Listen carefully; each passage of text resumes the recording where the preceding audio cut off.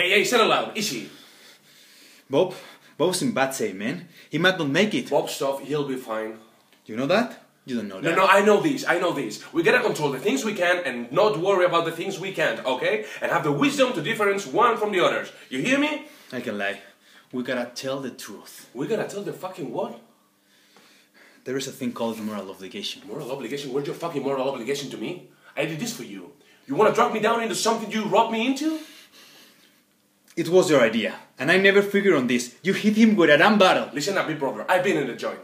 You last there like 10 minutes, okay? And then what happens to Henry and Mary and that little girl you ain't even got a name for yet?